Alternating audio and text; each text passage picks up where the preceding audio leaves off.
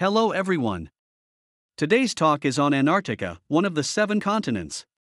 It contains the geographic South Pole and is situated in the Antarctic region of the southern hemisphere. It is the fifth largest continent, bigger than Australia and Europe. When you think of this place, what comes to your mind? Of course, ice, snow, and cold weather. Antarctica, on average, is the coldest, driest, and windiest continent and has the highest average elevation of all the continents. It has about 90% of the ice in the world.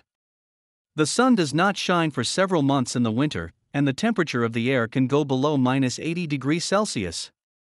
The sun shines almost all the time in the summer, but the temperature of the air does not go above 0 degrees Celsius. Due to its location at the South Pole, Antarctica receives relatively little solar radiation except along the southern summer.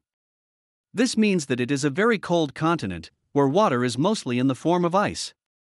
Precipitation is low, and almost always in the form of snow, which accumulates and forms the giant ice sheets which cover the continent. Antarctica is an important part of the world. It has almost 70% of the world's fresh water.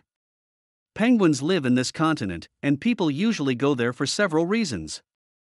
Most of them are scientists. They come to Antarctica to study the changes in the weather and learn about living things in the ocean. Antarctica is the last region on Earth in recorded history to be discovered, which was unseen until 1820. The continent, however, remained largely neglected for the rest of the 19th century because of its hostile environment, lack of easily accessible resources, and isolation. The geological study of Antarctica has been greatly hindered by the thick layer of ice that covers nearly all of the continent.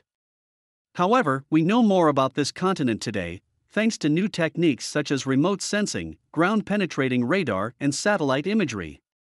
They have begun to reveal the structures beneath the ice, and no doubt they will learn more about the continent's geology and life.